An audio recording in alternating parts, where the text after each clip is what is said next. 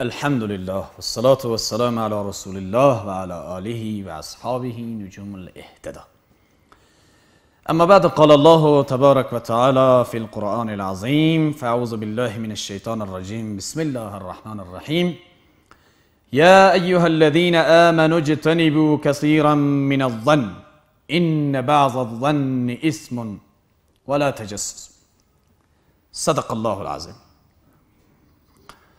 خدمت همه بینندگان و شنوندگان عزیز خواهر و برادر السلام علیکم و رحمت الله تعالی و برکاته خوشحال هستیم که باز در خدمت شما و در سلسله درس های از قرآن و سنت قرار داریم. بحث امروزی ما و یا درس امروزی ما در ارتباط به یکی دیگر از جمله رضایل اخلاقی است. چیزی که بد اخلاقی نامیده می شود در اسلام. چیزی که خلافی اخلاق یک مسلمان هست. از مسلمان توقع نمی رود که چنین اخلاق داشته باشد. یعنی بدگمانی هست. یا سوء زن نسبت به دیگران. الله تبارک و تعالی در ارتباط به این موضوع به ما خبر داده در قرآن و راههای رهایی از این موضوع را هم به ما بیان کرده بدون شک بدگمانی چیست؟ بدگمانی عبارت از این است که شما نسبت به یک فردی شخص دیدی بد دارید گمان بد دارید. در حالی که او آدم چیزی مرتکب نشده بدگمانی به دو بخش تقسیم می شود. یکی سوء زن یا بدگمانی است که شما هم بدگمان شدید نسبت به یک شخص هم ایره نشستید با دیگران قصه کردید. ای از جمله گناه های بسیار بزرگ است. یکی است که شما در ذهنتان یک چیز خطور کرد نسبت به یک کسی. بدگمان شدید.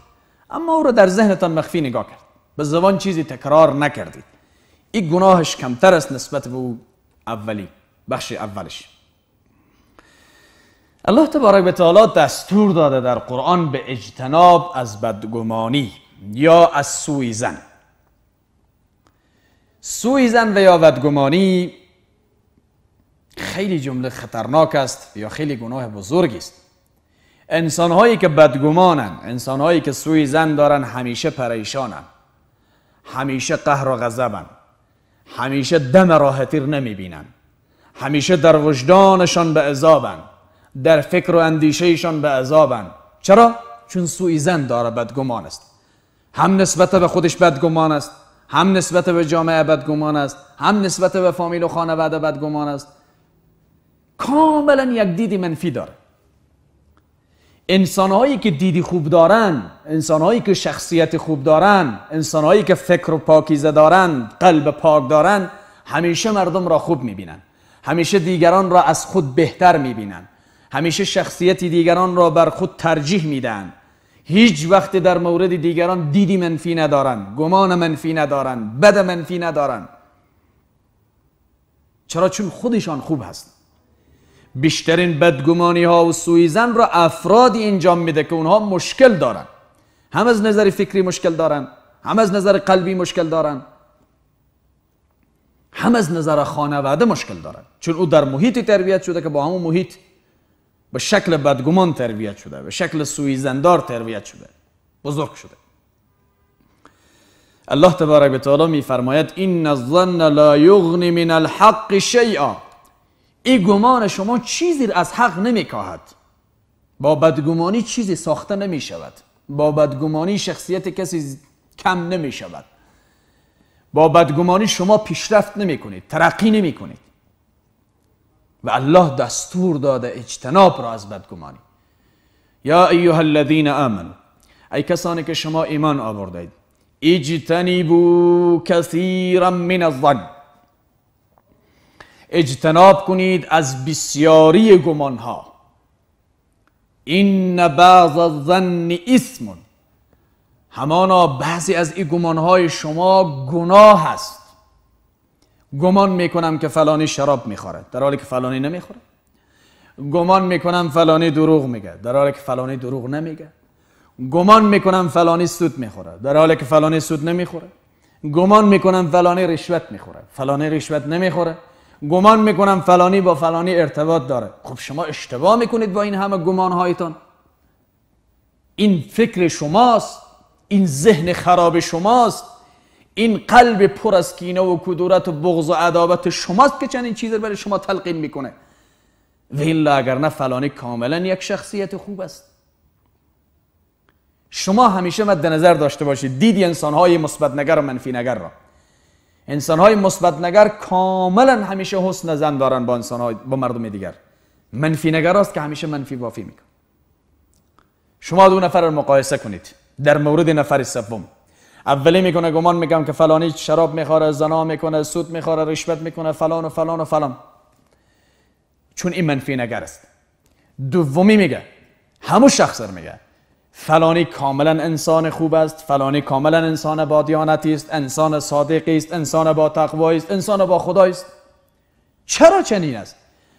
اوی اولی منفی نگر است بدگمان است قلبش خراب است پر از, پر از کینه و کدورت و بغض و عداوت و دشمنی است. شخصیت خودش خراب است چون دیگران را خراب می‌بیند. این دومی مثبت نگر است شخصیت خوب است قلب پاکیزه داره انسانها را بر خود ترجیح میده. این قانون است. همیشه هر وقت کسی دیدیم که دیگران را بر خود ترجیح میده دلیل خوبیش این است او از شما بهتر است. هرگاه کسی دیدید که خود را بر دیگران ترجیح می‌دهد او دلیل ضعفش است. او خیلی به مراتب گنده تر از او دیگران هست.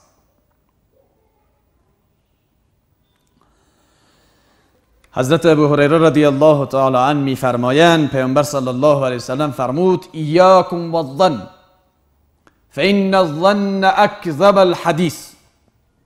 به شما هشدار میدم خبردار خود را دور نگاه دارید از گمانها یعنی گمانهای بد.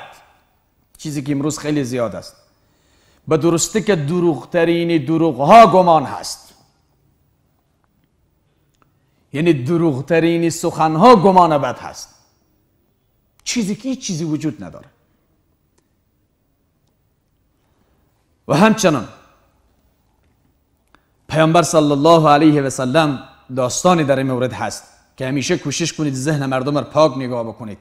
خود را در موقعی قرار ندهید که مردم در موردتان گمان بد بکنند حضرت علی رضی الله تعالی عنه میفرماید من وضع نفسه فی مواقع التهمه فلا تلوم الناس کسی که شخصیتش را خودش را در یک موقعی قرار می‌دهد که مردم برش تهمت می‌زنند مردم را ملامت نکند یعنی در موضع تهمت خودتان قرار ندهید در موضعی قرار ندهید که مردم گمان بد بکنن نسبت به شما دیدی زشت داشته باشن شب از شبها رحمت للعالمین سید المرسلین قائد اعظم صلوات الله و سلامه علیه اجمعین از کوچه می گذشتن در مدینه همراه همسر مهربانش. جمعی از صحابه اونجا استاد بودن چند نفر با هم صحبت می‌کردن. پیامبر صلی الله علیه وسلم از کنار اینها رد شد. چند قدمی رفت پیش پس برگشت. گویا پیامبر و توسط الهام یا وحی فهمید که اینها در موردش ممکن شاید بدگمان بشوند که پیغمبر در این نیمه شب با این زن کجا می رود و این خانم چی کسی بود همراه پیغمبر؟ پیامبر صلی الله علیه وسلم برگشت به طرف صحابه فرمود ایاران من آگاه باشید که این خانم من هست این همسر من هست فلانی. صحابه گفتن یا رسول الله آیا ما اگر در مورد هر کسی بدگمان باشیم در مورد شما که بدگمان نیستیم؟ یعنی شما فکر کردید که ما در مورد شما بدگمانی می‌کنم. پیامبر صلی الله علیه وسلم فرمود نه خیر من خواستم شما را راحت بسازم. نشود شیطان بر شما غلبه کند و چیزی در فکر و ذهن شما در مورد من بگردد که پیامبر ما رهبر ما در این نیمه شب با این خانم کجا می رود این همسرم هست فلانی. یعنی معنایش این است. از این حدیث معلوم می شود که اگر شما در حالت قرار می گیرید در موقفی قرار می گیرید در جای با ممکن ضرورتی باشه با خانم صحبتی داشته باشید در جای ممکن کار داشته باشید در جای ممکن با همسرتان باشید کسی دیگران شما را نشناسند کوشش کنید مردم را از بدگمانی خلاص بکنید. یعنی اگر فکر کردید که مردم در موردتان گمان بد می‌کند مردم فکر و ذهنشان آزاد بسازید تا گمان بد نکنند در مورد شما بنان عزیزان من این بود یکی دیگر از جمله گناه های بزرگ و از درس های از قرآن و سنت که گمان یا سوی زن است. سوی زن انسان را همیشه پریشان می کند انسان هایی که سوی زن دارن راحت نیستن نه در شب نه در روز. هم خواب زشت و خراب می بینن هم در روز در فکر و اندیشه ایشان پریشان هستند بنابراین باید این ترک بکنید تا از این حالت نجات پیدا بکنیم. الله رب العزت و الجلال و همه ما توفیق عمل بفرماید تا برنامه بعدی که در خدمت شما قرار می‌گیریم همه شما را به الله پاک و بینیاز میسپارم. السلام علیکم.